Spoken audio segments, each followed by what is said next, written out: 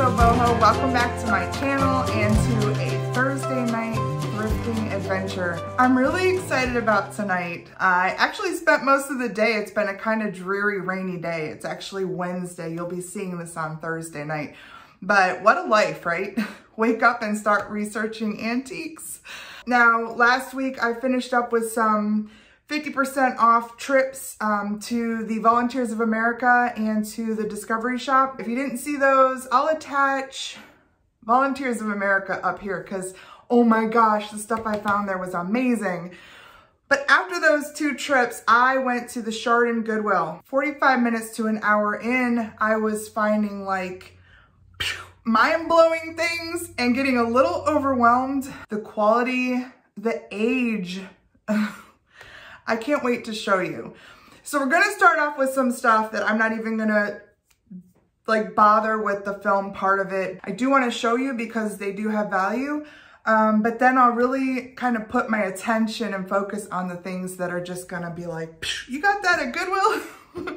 Seriously guys, get out to your Goodwills, get out to your thrift shops. Doesn't have to be Goodwill, but get out to those um, locally owned thrift shops if you have them. I wish I had more of those um, and find your treasures. You don't have to be a reseller. You can be a gifter or a collector or whatever.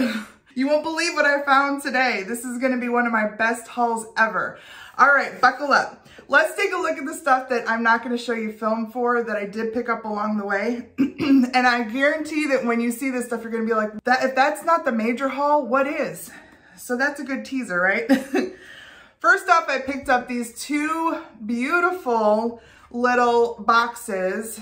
Now, I haven't even done research on these. I don't think they're old, but I have such a major appreciation for these that are built like old pantry boxes.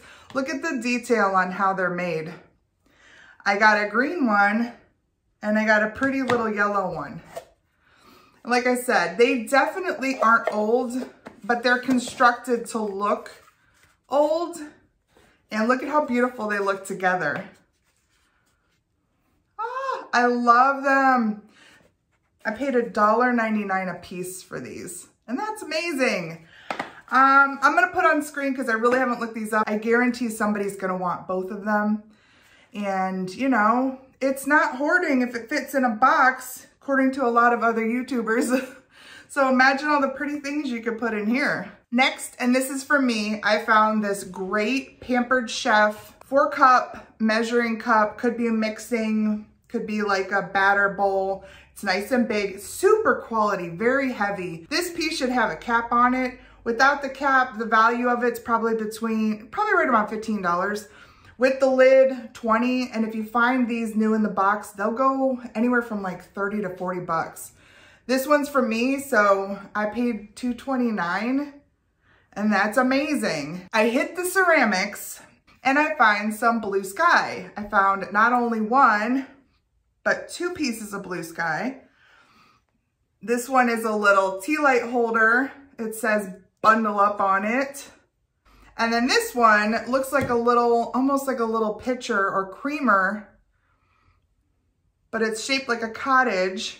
How cute. It has little cherries hanging off of here. This one I paid $2.29.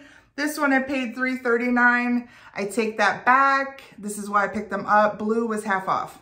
So I paid half of those two prices and that's why I'm like, oh, I gotta take those two. Every single time I get a blue sky and I list it, it sells and it sells pretty quick. Then there was this little guy and he is designed by George Good, which I've run into before. And so I know that George Good stuff tends to sell well. I paid 99 cents. I mean, how do you pass that up, right? I'll show you some comps. He was a neat little find. You know I love my bags of stuff. If you watch a channel, when I find a bag of stuff, it's like, ooh, what's in there? What's in there? Oh my gosh. This was an incredible little bag of stuff. It was priced $2.29 and I could see these little critters in it. Wait until you see this. The first one is just a tiny little, looks like a hobbyist piece. It's a bunny. Look at that. He has a little chipped foot, but that just means they'll probably have to go into my decor. I have this thing about light critters with big black eyeballs. Then some Odagiri little figurines. So these guys are like a set of little quails. Look at how cute. They're Odagiri. Um, these just say made in Japan on them, but I have found these in research and I do believe they are Odagiri. And I believe that because there's another piece in here that's Odagiri. And it's this little rabbit. Look at this little brown guy. Now he still has his Odagiri sticker on him. You will either see Odagiri written out or these gold foil stickers. They say OMC and that's also Odagiri. But isn't he cool? And look, he has a very similar texture to these guys. So that was a little bit of a hint for me to maybe look for Odagiri when it came to these quails. And then finally, also in this bag, was this little Goebel kitten. Look at him. Now these came in a set of three and they've all got, they're dealing with some sort of ladybug issue. but this guy, I mean, I don't even know, how is he doing that with his leg? He's very flexible. But he still has his Goebel sticker on him. And if you can find the three set, looks like they go for like good money. $40 and up. Now I've seen two of these out of the three also sell for 40, but the singles maybe between 15 and $20 a piece. But just this guy alone, if I sold him for 15, I paid 2.29 for the bag. And look at all of these things. That was an awesome find. Another thing that I found are these amazing learn how to draw books. I wish I would have had all of these as a kid. This is how I learned to draw. I mean, I had good art teachers, but I really, really loved the simplicity of learning how to draw from Walter Foster. So these are Walter Foster books. I think two of these are. And some of these go all the way back to like the 1940s, I think, maybe earlier, I'm not sure. But they really taught me, you know, the basics of how to draw. And I would just echo, like copy these things and get a feel for, you know, structures and especially I had a human one, like a body one. And I remember all of the like, you know, like the eyes are pretty much in the middle of your skull and that things line up weird, like your pupils line up with the outside of your mouth and your nose lines up with the inside of your eye. Weird stuff like that. I used to love that. And this one, animated cartoon, this is also a Walter Foster, Walter T. Foster, see?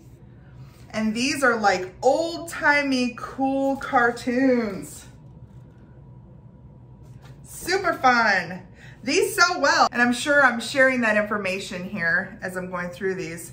And then the last one is drawing animals, the art of drawing animals. And this one is put out by the Grumbacher Library. I found this one too, it sold recently, but ooh, look at this elephant. They are so awesome. I'm not sure if I'm gonna sell these individually, if I'm gonna sell them in a lot, if I'm gonna sell the Walter Foster one separately and this one on its own. I'm not sure. If I start my own library. All right, everyone, let's go shopping. This aisle is what my mom and I call the messy aisle. it has all the craft stuff and just an avalanche of things. And I was just kind of pointing out there, I found some command hooks and some things. I won't get into those, but man, find those out thrifting because those are expensive in the hardware store. So I'm just kind of digging through here. And I found these.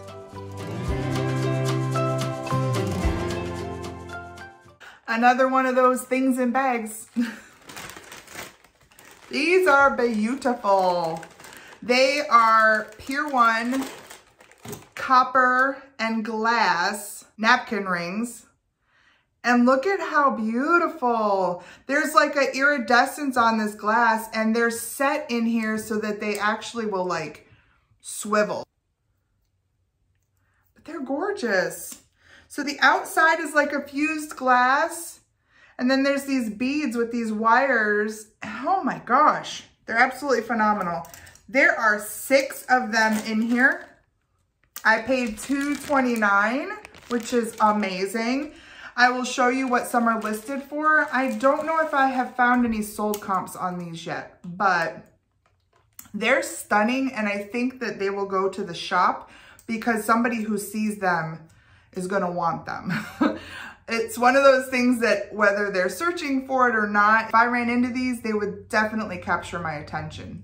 Now, whenever I say something's going to the shop, if you're a viewer, these, as I'm showing you these things, I'm literally a day or, or a couple of days away from, you know, putting them on eBay or taking them to the shop. Um, sometimes they might hit eBay that same day, but catch me. If you are somebody who makes, you know, beautiful tablescapes, and you need these for your table, um, hit me up, especially if you hear me say something's going to the shop because I'm probably going to hold on to it until at least the following weekend. And, you know, so they're in my possession and you can say, hey, I need those and we can, you know, communicate over email. Here's my email right here. um, and we'll get them to you. This messy area and I noticed up here some kites.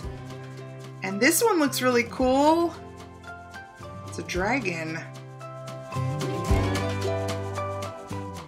I just noticed as I was pulling this out, this is a Melissa and Doug kite. I know that that's a Target brand, so it might be a little bit more quality than I originally thought. I will check it out and show you here what it's worth if I can find it.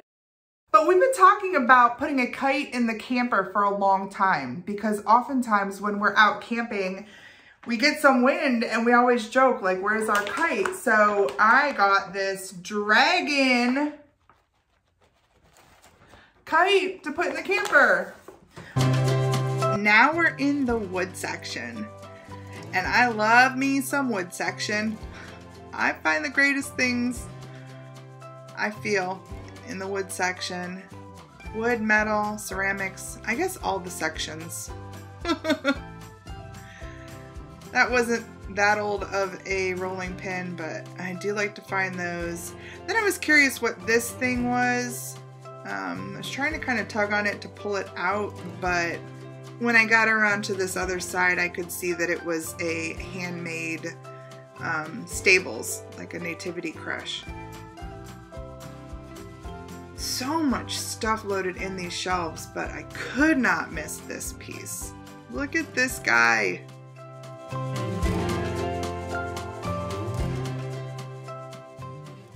This is incredible. It has such great age and I love the fact that it has this old paint on it, that it's being worn off in areas. It's split on the bottom because wood does that when it ages. So you get things like this that happen. But look at the wood on the bottom and look at those nails. You see those nails? They're funky, right? They're not perfect little circles. Some of them are square. Look at this one right here. Those are like made by hand and that's phenomenal. They're all different and wonky and beautiful and this is a nice old piece. I have seen some of these without these, you know, dividers here. They're calling them utensil caddies. They're just kind of open on both sides. I love that this one is kind of decorative, that it has these beautiful, you know, this one's not even symmetrical. I love it. And I think this is probably an 80 to $100 piece. And that's crazy, right? But let me show you what I'm seeing on eBay. This was a great find. Still in the wood area. Found this funky wooden rabbit. He was a little weird. And I looked up here and I saw this piece and I love this piece. This is definitely very nicely carved and polished. It's, it is stunning. I mean, look at the, look at the wood in that. There's some things in here that I have to clean up a little bit, but look at the carving even on the back. It's gorgeous. I paid $3.39 for this. I have not found one just like this. I found some similar, um, but I have not yet located this one.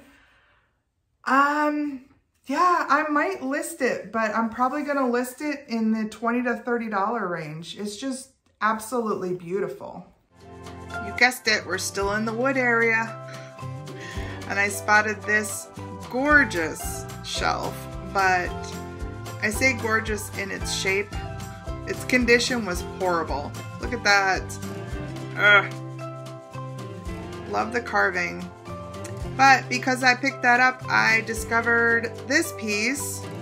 It looks primitive too.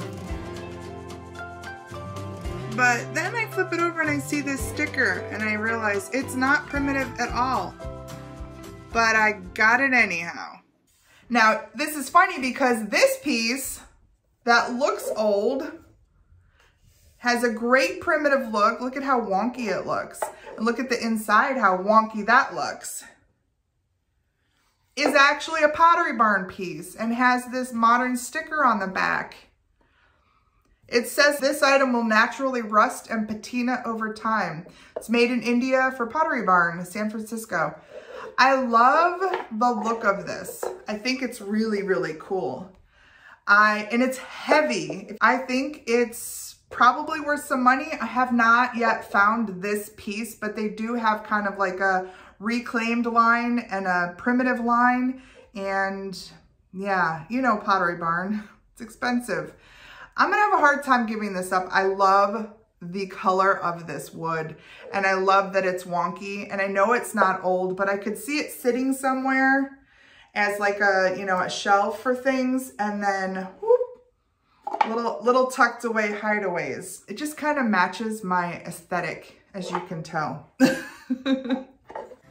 I did not capture when I first saw this clock, but I sent this back. It did not have a price on it.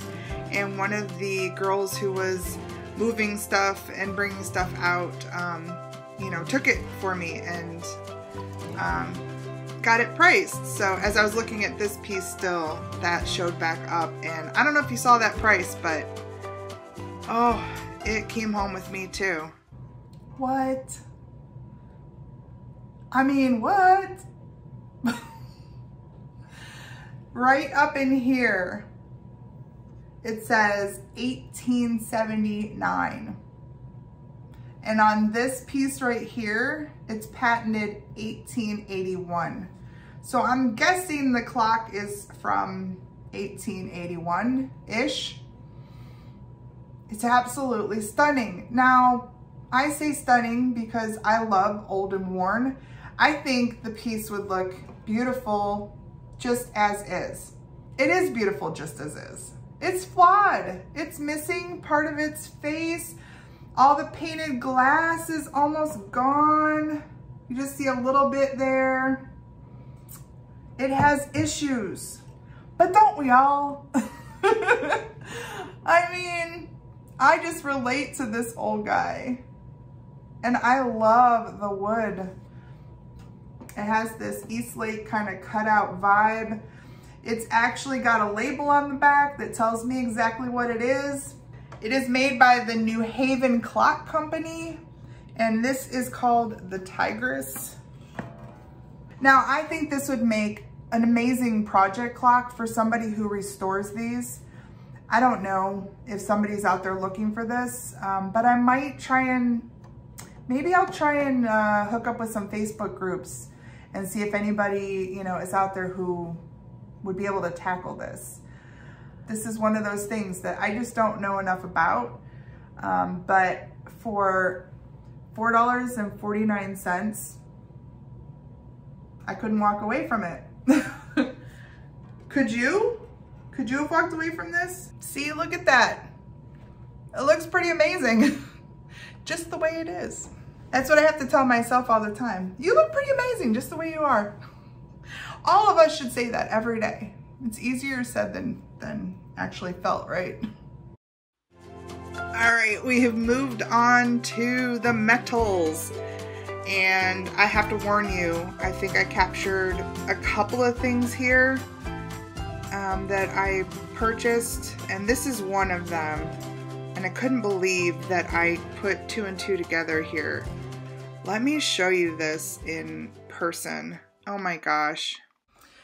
For as tired as my brain was to find this piece and to look over then and notice this and think, oh, I think those go together. Um, I was like, okay, I'm still with it. Look at how gorgeous this is. Now this, I will show you a picture. This holds an oil lamp with kind of a shorter base, all glass, you know, oil in it, and then a globe. This is Victorian era. Um, it is made by, I think, Wilton. I think I've seen it listed. I can't confirm that because I'm not seeing Wilton on this piece anywhere. I am seeing numbers 708 on the hinge part, but that's it. I'm not seeing Wilton. But look at how gorgeous that is.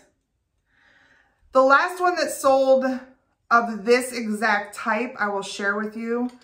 It's sold for a little bit more than a lot of these sell for, so I'm not quite sure why. Now this one does have a little bit of um, rust happening in here, and that's easily taken care of because these can be coated and even just painted um, to really brighten them up. I paid $5.69 for this. I was happy about that. I imagine, yeah, I don't know. I don't know. I'll probably list this.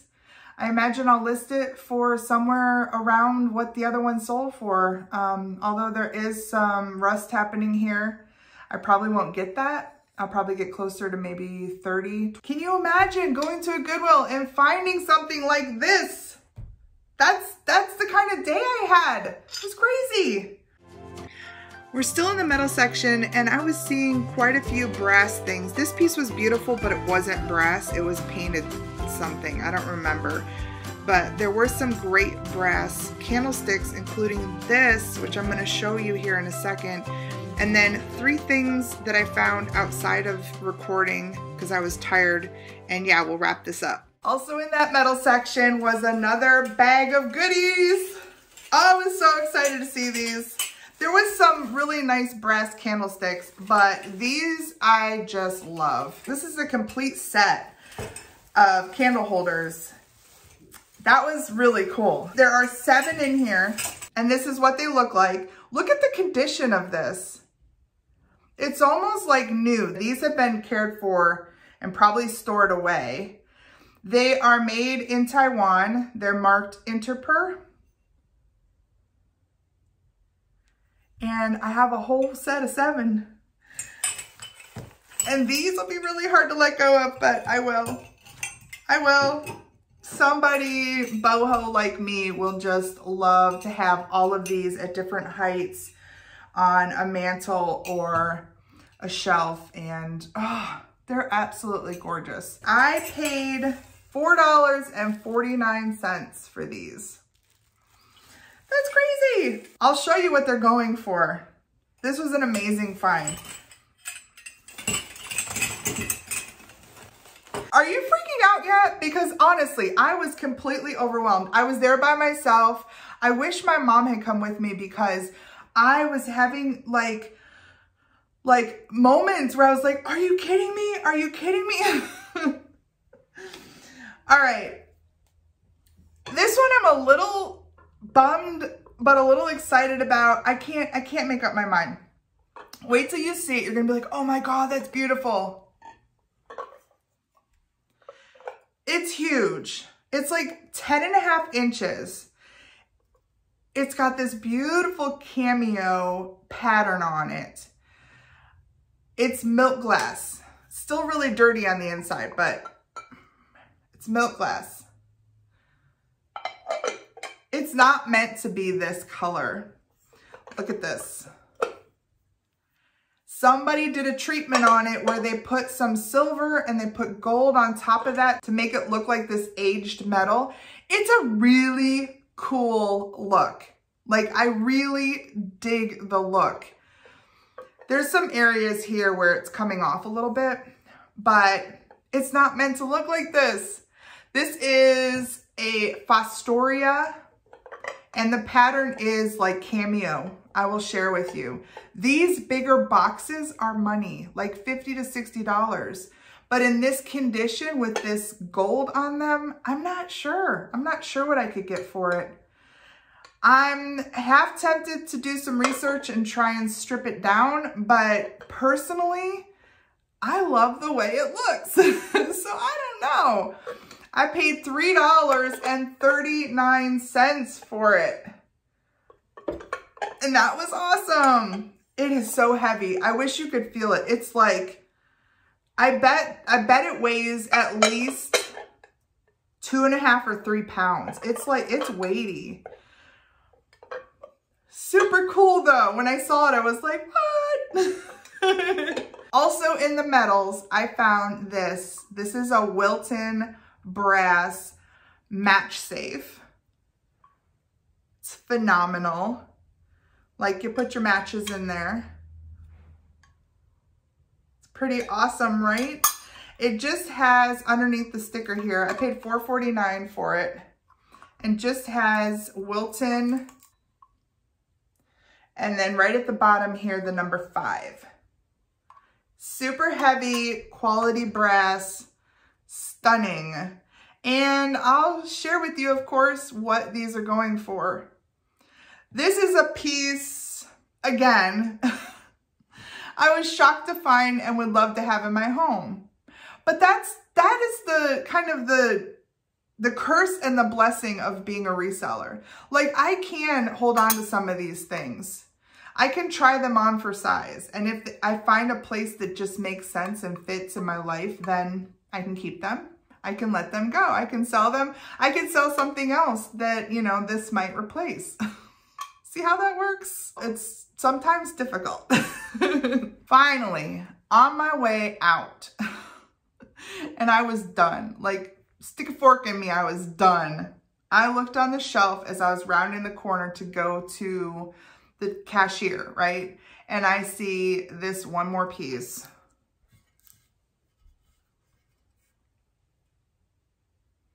It's bronze. It's heavy.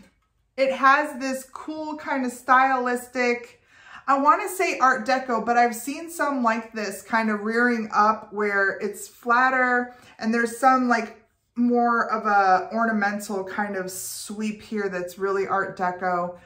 I don't know. There's no signature on here that I have found yet. It's just really cool. It's really, really cool. $3.39 for a bronze horse bookend. it was that kind of day. I was like, I have to leave right now. My mind was just blown.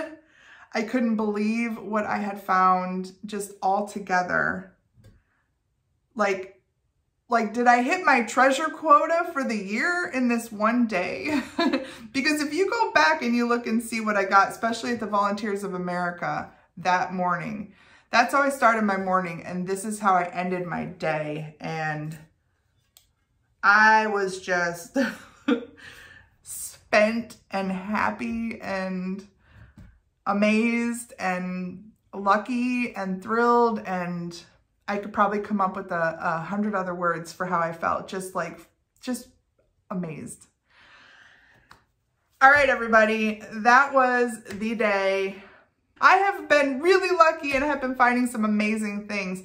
In fact, next week is to be really cool too. I only found one thing at the one shop that I will show you. But I'm going to do a little bit of uh, showing you Pymatuning Lake, which is a fun place to go. I'm also going to share with you the flea market that I kind of teased you about last week. And I found some really cool stuff there. So thank you everybody so much for watching. I appreciate you so much. I am so lucky to have a growing audience of people who are like, like me and appreciate cool old things. Keep the comments coming. I love to hear from you and communicate with you. Hit that little like button if you can and subscribe if you haven't subscribed. I'm seeing that I have a big portion of audience that are watching and not subscribing. That's confusing because if you subscribe and hit that alarm button, you'll know when I have a new video up. And I do that a couple of times a week and sometimes even on the weekends. And then finally, share! Share the video out so everybody can see the cool stuff that we're finding and talking about and can learn about all this stuff like we're learning together. All right, take care. I will see you all next week, Tuesday. All right, have a good weekend.